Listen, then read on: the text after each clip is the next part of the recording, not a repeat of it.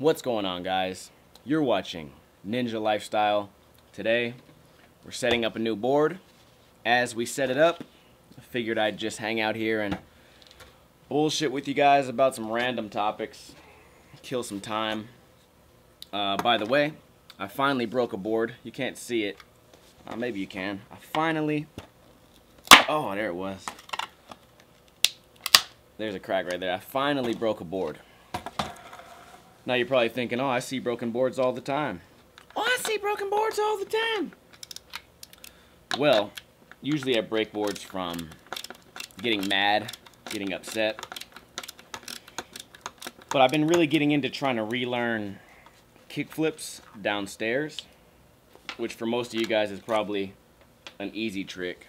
And there was a time in my life when it was an easy trick, but lately it's been it's been really, really difficult to kickflip down some stairs, even if it's like a four stair. It's been really hard. It doesn't make any sense. My kickflips are good. I can kickflip flat ground. I can kickflip up things. But for some reason, when it comes to like a gap or a stair, I think it's all mental. I just forget how to do it. So I've been practicing that, and I finally got the catch down so I can catch it and bring it down. And uh, broke a board in the process, so it's kind of cool.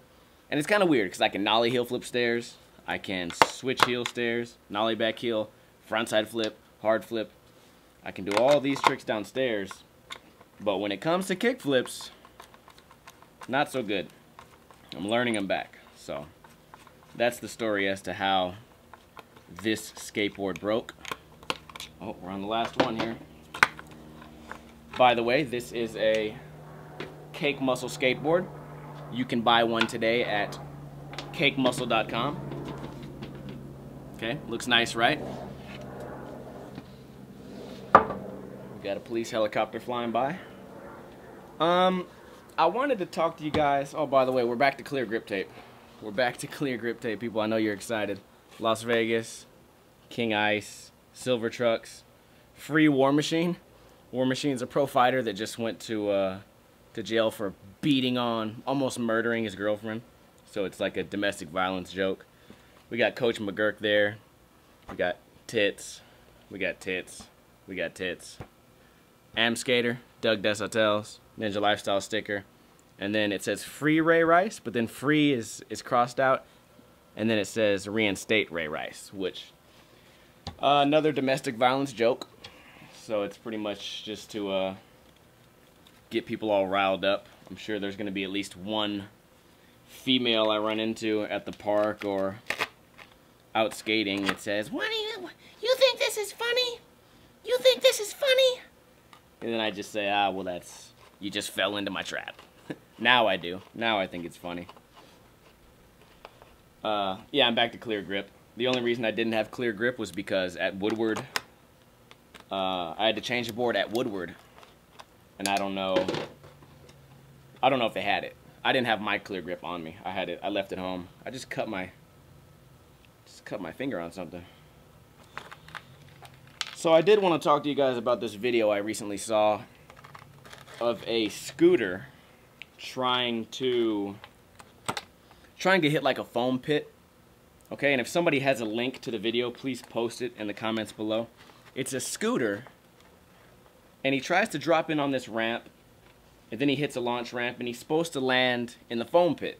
You know one of the easier things to do in life. That's why foam pits exist because if you're not quite good enough to do the trick you can learn it in a foam pit.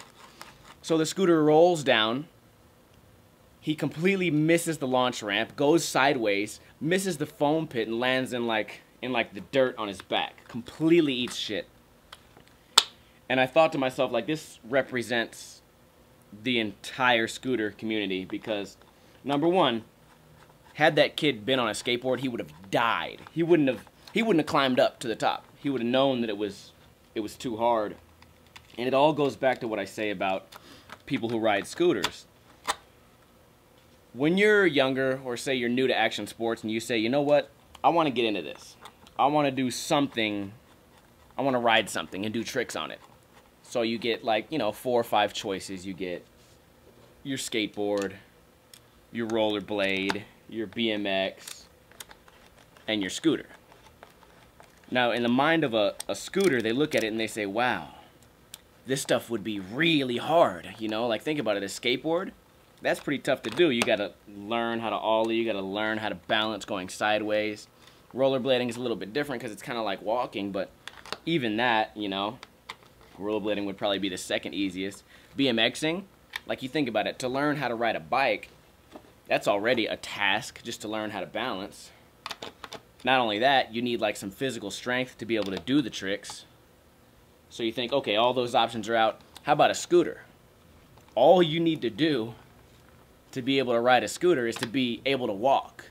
And there's probably a kid out there somewhere with some sort of degenerative leg disease who can't even walk, who can still scooter. And that's what I say about this. What type of people choose the easiest route? People that are afraid of challenge, people that are afraid of hard work. I mean, this kid was afraid of a foam pit. Either that or he didn't even have the cognitive balancing skills to make it to the bottom of a ramp, which, like I said, the only prerequisite for being able to do this is walking. He couldn't even do that right. And I feel like that represents scooters as a whole. Let me put it like this, okay? Let me give you guys a little a, a little metaphor, a little analogy. You just get a new Mortal Kombat game. Okay, you take it home, you put it in the game system, you're excited, okay? And as a skateboarder, you put it in, you see arcade mode, you hit start, you start playing. It's all good. We're all having a having a blast, having fun, fighting. You know, I'm gonna be Liu Kang with the kicks. Yeah, yeah, yeah, yeah, yeah, yeah, yeah. Okay. If you're a scooter, you get the game, you're excited, you put it in your game system, loading screen comes up, you see the home screen, you see arcade mode, but what do you do? You go right to options and you click easy. Okay, that's what that's what I mean. Now I'm sure the comments are gonna say, "Well, I'm a scooter and I just got Mortal Kombat and I didn't click easy." Well, you're you're one of the the outliers, okay? Because I'm sure most of you guys, based on what I've seen in real life, which by the way, actions speak louder than comments just based on what I've seen, these are the type of people that prefer not to work hard, which is why they chose scootering in the first place. And it's one of those things where I've had this argument before, and they're like, "Well, you're reaching. You know, that's really hard for for you to say what what they were thinking when they got the, you know, the the scooter." And it's like, well, it's kind of like human nature too. And on top of that, I've been doing this a long time. I've met the scooters. I've known the personalities. I'm sure that you know one or two that are cool. But let's let's speak in 80 20s, okay? 80% of them are afraid of hard work, which is why the only trick you'll ever see at most skate parks is a tail whip, okay? Which anyone, anyone can learn a tail whip in one day versus put somebody on a skateboard, you can barely roll down, you know, a driveway on your first day there's a huge learning curve, which to someone who's afraid of hard work is really intimidating. So, those are just my thoughts.